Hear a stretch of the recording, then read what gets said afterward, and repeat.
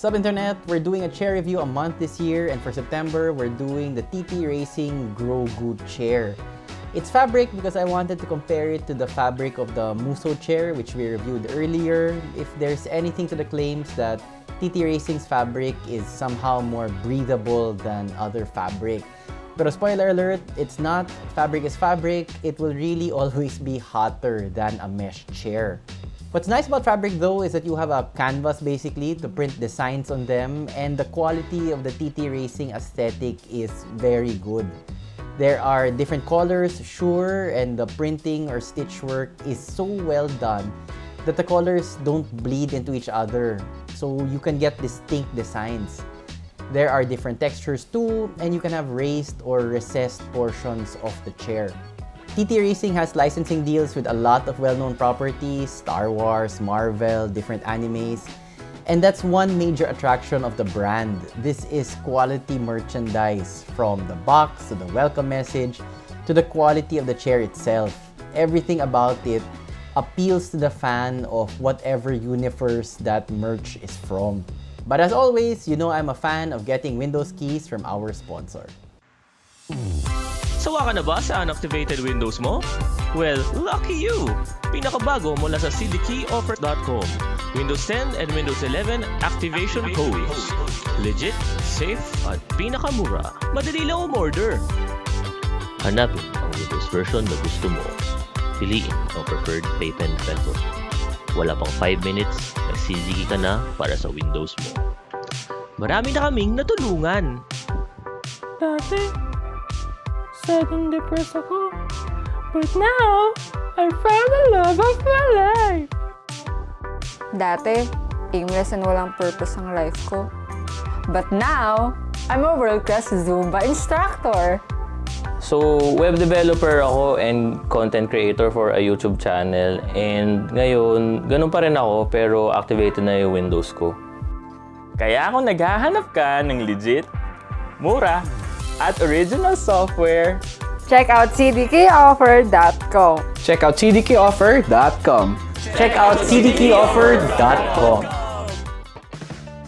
We always start with the assembly. It was relatively straightforward except for one point. The sticker, which shows which is the front, also serves as the adhesive for the big welcome message.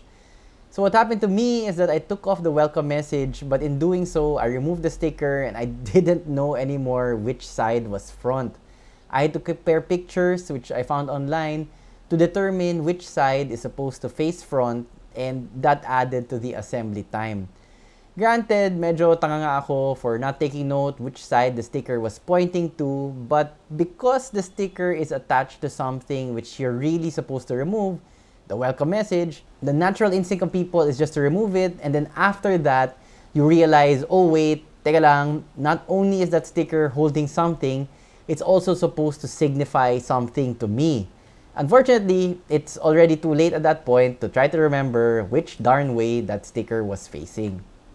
After figuring out which side of the chair is the front, the only remaining major hurdle for me was attaching the backrest. This is really difficult to do kung mag-isa ka lang. You need to wedge it into the armrests. The fit is tight, so it's not a simple slide into position. You need to do it with a little force while all the while trying to keep it aligned properly with the armrests. Once you get past those two points, everything else of the assembly is smooth sailing. How you feel about the build or comfort level of a chair will depend a lot on your personal measurements. For reference, I'm 5'9 and around 140 pounds, and I found this chair to be very plush, very solid, excellent support for your butt.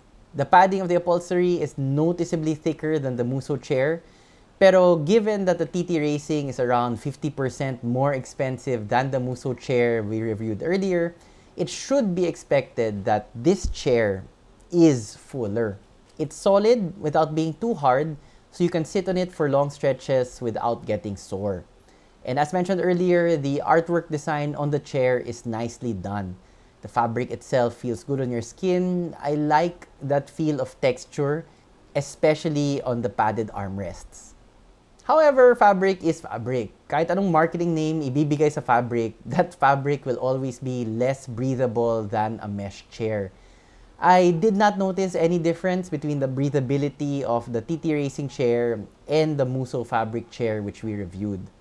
Among all of the chairs I've reviewed though, this one so far has the best maximum angle for lean back.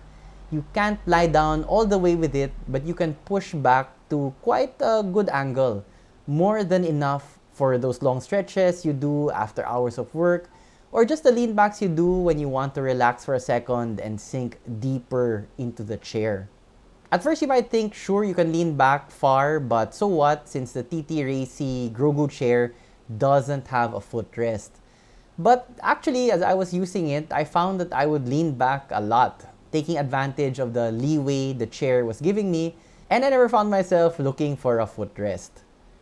Overall, the chair is solid and comfortable.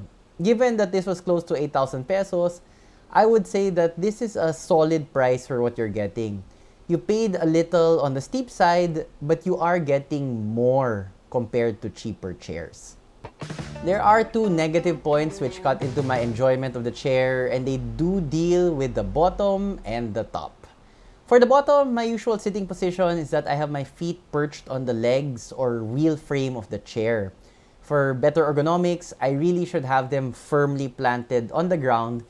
Pero wala na, ganoon lang talaga ako umupo. That's what I find comfortable. Unfortunately, the wheel frame of the TT Racing Grogu has angled legs. So it's a really steep angle, parang parang ganun siya. Unlike a more common sloping or curved design. The severe angle is quite sharp so if you rest your feet there, it can feel like the angle is digging or cutting into your foot. Now, I still rest my foot there. Yan na talaga yung nakasanayan ko.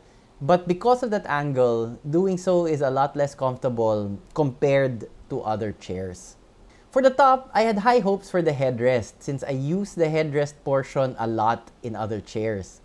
This chair does not have a separate headrest, but the sloping top with its curved position and even distinctive color, looked really inviting in pictures. Gusto ko talaga subukan. Unfortunately, the backrest is too short for me. So instead of supporting my neck when I lean back, that top sloping part cuts into it, cuts into my neck instead of supporting it. When I am not deliberately leaning back for neck support, the top angled cushion sits somewhere in an awkward position, somewhere in what feels like the middle of my shoulder blades. The height of this top is just all wrong for me, and while not a deal breaker, I was disappointed that I wouldn't be getting substantial headrest support as it looked so good, parang bagay na bagay para sa akin in the pictures. And of course, I couldn't go through the negatives without mentioning the abysmal delivery and customer service I experienced with TT Racing. The number you have dialed is either unattended or out of coverage area. Please try your call later.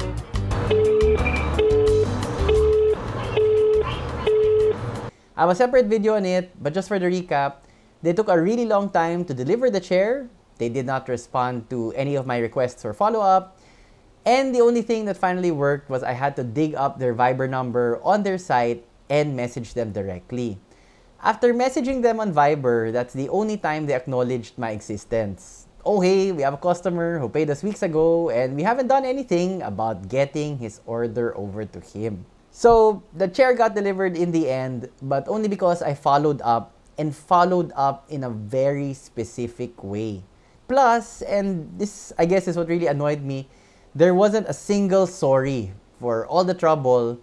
Plus, they finally replied to my emails more than a month later, basically saying, What's the trouble? We delivered your chair already. The delivery, which only happened because kinulit ko sila through another means other than email. In my earlier video on this, most folks commented that I should have just ordered from their Lazada page instead of what I did which was ordered directly from the TT Racing site. For those ordered through Laz, they said they didn't encounter any problems. But my response to this is, bakit kasalanan ko pa na nag-order ako through their site? Parang, yun nga, customer na nga ako, dumiretso ako sa inyo, kasalanan ko pa for going directly to TT Racing.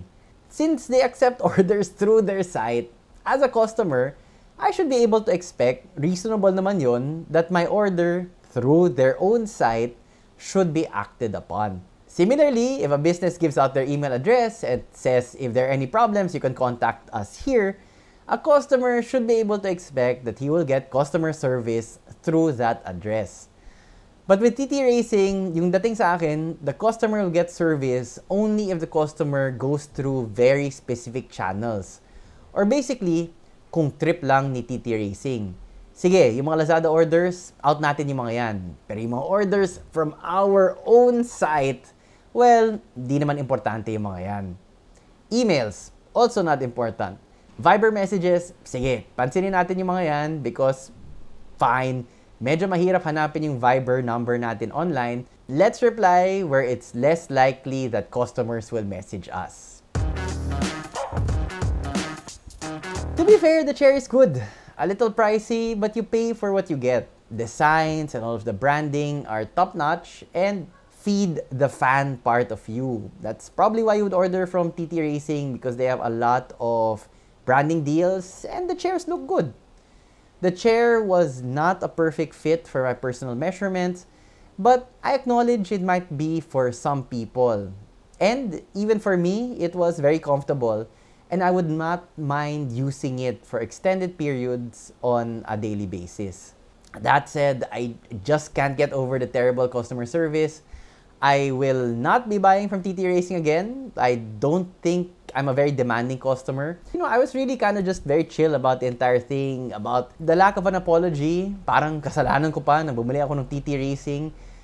For that attitude, I would rather take my 8,000 pesos elsewhere. Good share, but not enough to make up for the bad service.